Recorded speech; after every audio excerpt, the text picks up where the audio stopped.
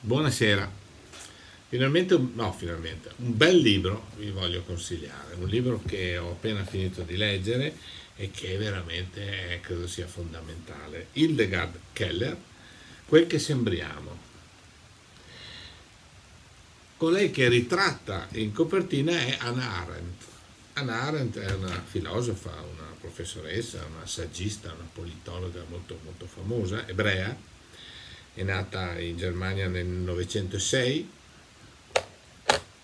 ha studiato con eh, Martin Heidegger, del quale è stata anche, ha avuto una relazione, poi eh, la, la, se, se n'è andata negli anni in cui Heidegger ha aderito in qualche modo al nazismo, si è spostata a Heidelberg e dove eh, si è laureata con Karl Jasper, un altro importantissimo filosofo.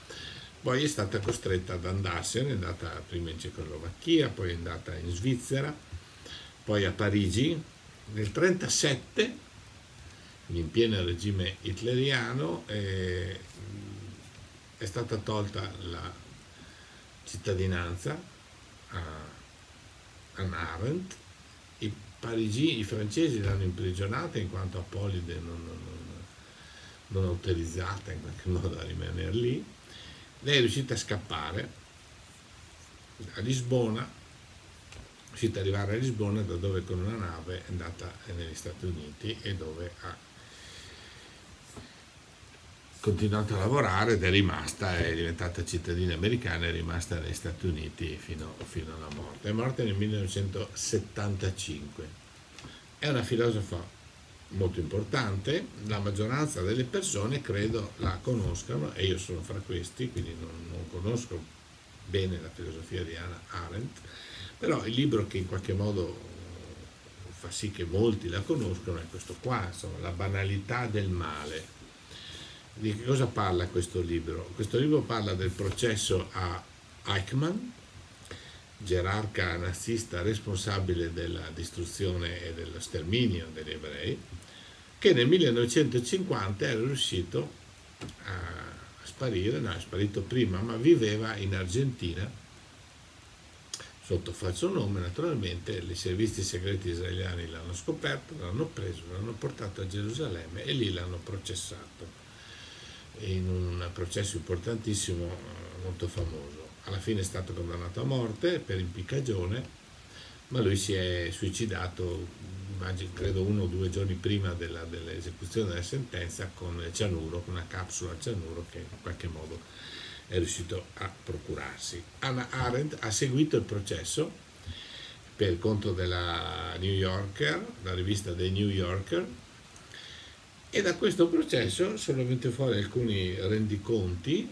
Eh, lei non doveva fare la cronaca giornaliera come quasi tutti i giornalisti che erano lì, perché lei ha fatto come dire dei, dei, dei riassunti, insomma, che poi sono stati raccolti tutti insieme, riorganizzati un pochettino, ma non modificati e appunto pubblicati sotto il nome della banalità del male. Banalità, anche il titolo ci fa capire, lei vede questo gerarca nazista come un uomo che non ha nessuna grandezza, non c'è questa grandezza del male. Eh, tutti si aspettavano no, di questa. E lei invece ha, ha, capito o ritiene insomma che sia un uomo banale ma banale che si giustificava dicendo che aveva seguito, eseguito degli ordini eccetera. Vabbè ma non adesso non dobbiamo parlare di questo libro che ripeto è importantissimo.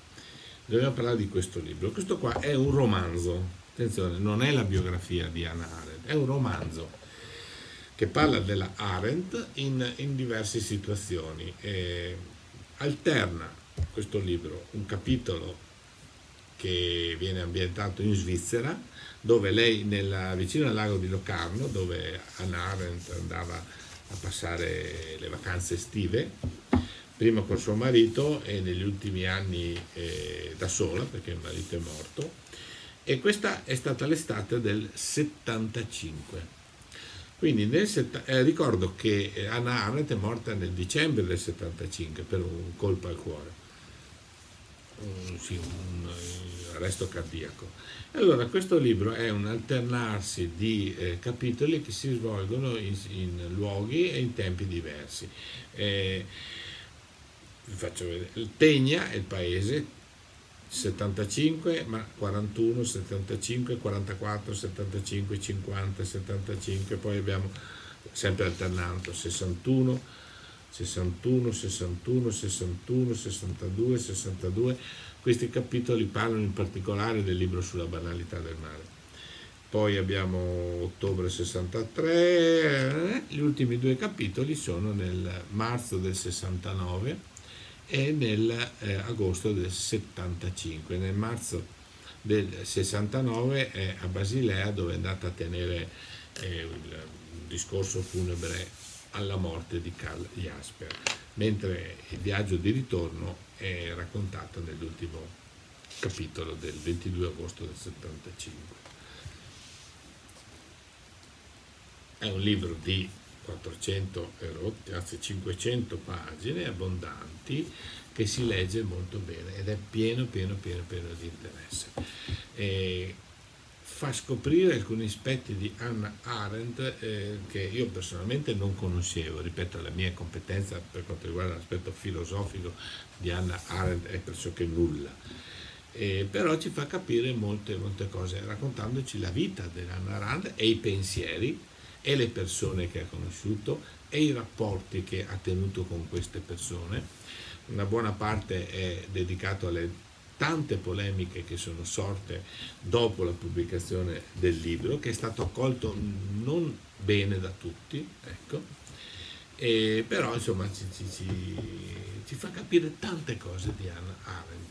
Piccola parentesi, mi sono comprato un paio di libri della per capirne un pochino di più. Ma questo è un altro discorso. Ecco, io concludo dicendo che veramente chi conosce la Arendt, chi conosce il libro, e naturalmente mi, mi sembra ovvio consigliarvi di leggerlo questo libro, cioè questo libro è un libro che va letto, io l'ho letto nel, nel qui ho scritto nel 99, o almeno l'ho comprato nel 99, probabilmente l'ho letto poco dopo, ed è fondamentale tutto quanto, quindi riconsiglio, eccolo qua. E piccolissima parentesi, se siete interessati all'argomento, io vorrei consigliarvi anche questo libro, I volonterosi carnefici di Hitler, è un libro che Goldhagen, bel libro, un libro di storia, un libro di critica storica ed è molto importante se vogliamo capire ancora qualcosina di più su sulla Shoah e su quello che è successo in Germania nella nostra Europa eh, il secolo scorso. Bene, buona lettura con tutto il cuore.